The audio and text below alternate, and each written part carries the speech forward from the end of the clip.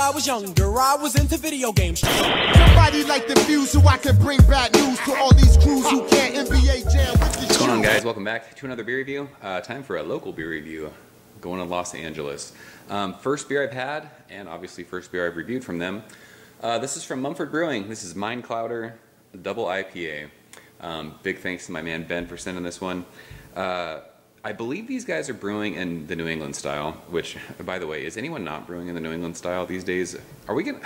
I mentioned it. Uh, I can't remember what review it was, but it's a thing now. Like everyone's doing this. Are we gonna get tired of these beers? I'm not sure, but um, I remember when I first started reviewing monkish beers, people were saying, "Hey, you should check out Mumford beers," um, and I think Mumford brewed a beer um, when um, when Phife from Tribe Called Quest passed away, I think they brewed Buggin' Out, and that's I think that was their first kind of New England style beer, and everyone started talking about them to me like on Instagram and in comments and stuff.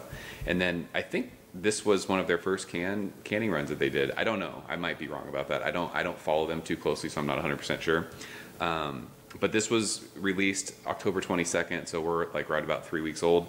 Um, it says on the can, which is cool, Columbus, Citra, Mosaic, and Simcoe. So this should be pretty West Coast, but I think it's brewed in a hazy style. Um, 9% double IPA, so it'll be interesting to see what this tastes like. There's no date on these cans, which makes me think this was kind of their one of their first runs. And I don't know how often. I know they just did another. They just canned another beer called Unpresidential, which I also got from Ben, which I will be reviewing uh, really soon. But yeah, I think this was one of it. Might it might have been the first um, cans that they did. So if you guys know, leave a comment and let us know. And yeah, it's hazy. it's pretty dark though. Really dark actually. Crazy. That almost looks like homebrew. Or some homebrews that I've had.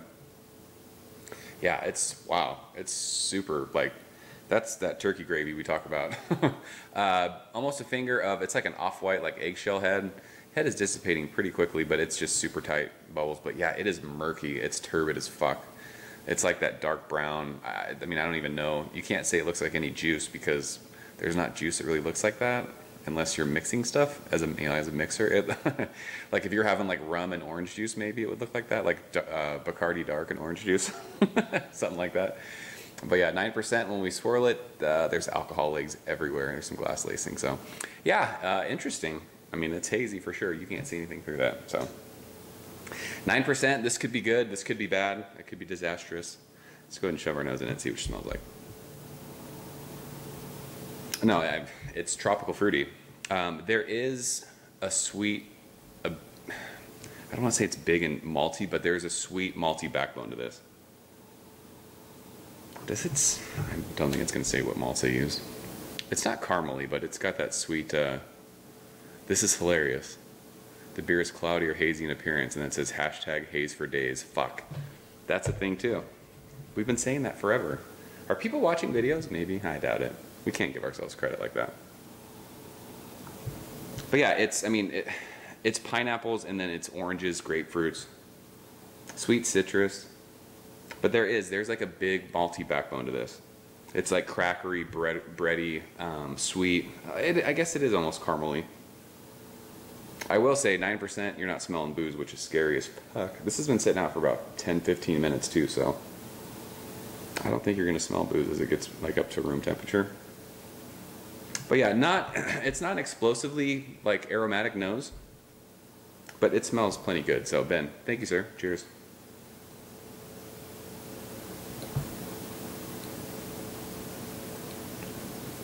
That is a big, rich, full mouthfeel. It's got, it's a tad sweet on the finish.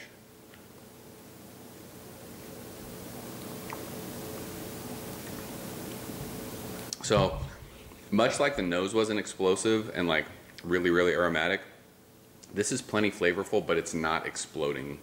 Um, this definitely reminds me of like an old school West Coast IPA that's brewed in a hazy fashion, if that makes sense. Tons of orange, grapefruit. Um, it's dank, it's resinous, it's earthy. It's really earthy. Um, I always say like dirty is the wrong word, but it tastes dirty. It tastes. I don't know what the word is for that.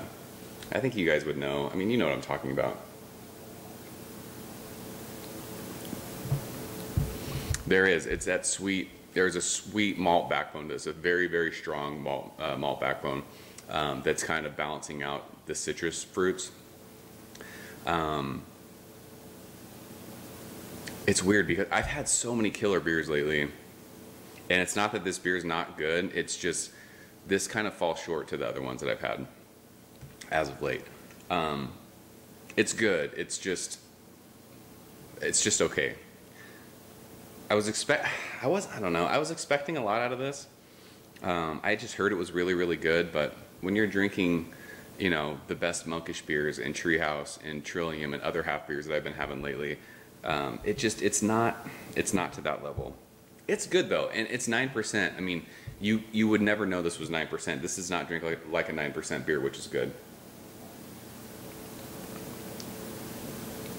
I don't want to say that I don't want to say the beer is boring because that sounds like a disrespectful thing to say, but this is just kind of for me, it's just like a take it or leave it kind of beer. Um, I don't know. I don't know how I feel about this beer. It's not bad. I just I was expecting it to be fucking amazing because everyone's been talking about how good Mumford is. It's a solid beer. It's just is forgettable the right word? Maybe I don't know. I'm not sure. Um, I like I, I, like the citrus that's in it. Um, it's just it's a tad malty for me, for my preference. But I know it's a West Coast brewed beer at heart. So I mean that's West Coast beers are they're malt driven, especially like nine percent. Like you drink a Stone beer, enjoy by very malt driven, and that's kind of how this is. It just kind of mixes that juicy aspect into it with the citrus fruits. Um, I just wish there was more. I don't know. I wish it popped more. I wish it was more flavorful. I wish um, like there's it said Simcoe right Mosaic and Simcoe um, I wish there was more of like that blueberry note from the Mosaic and I wish the Simcoe made it a little more green a little more dank um, I just want more flavors in what I'm tasting I just feel like I'm kind of tasting like grapefruit orange a little bit and then you're just getting those sweet kind of malts so um, I mean, I'm super stoked that I got to check this out. I mean, when someone sends a beer and it's not my favorite, it's not their fault. You didn't brew the beer. So I, don't want Ben to be upset that this isn't like my favorite beer because it's not like, dude, it's not your fault. You didn't make this beer. Um, and I think Mumford, this is a good, I mean, it's a good beer. It's just nothing that I'm probably, I probably won't, it's not one of those like memorable beers. So um, it's like a B plus for me. I don't know, like 87, 88, somewhere in there. It might be a bad can. I don't know. It, everyone who's had this beer will leave comments and tell me I'm crazy or say maybe I have an off can. I don't know. We'll see. But um, yeah, it's just kind of one of those. I don't know. I wish there was more to it. It's not that it's one note. It's just not. I don't know. It is what it is. You win some, you lose some. This one just wasn't. I mean, I've been drinking ridiculously good beer, so maybe in fairness, it's not fair to this beer. Who knows? But um, that's Mumford Mind Clouder. If you guys have had it, leave a comment below. Let me know what you think. Ben, thank you so much for sharing this one. Um, as always, guys, thank you so much for watching, and I will see you very soon. Cheers. Ever since I was younger, I was into video games. Somebody like the fuse so I can bring bad news to all these crews who can't NBA jam with the shoe.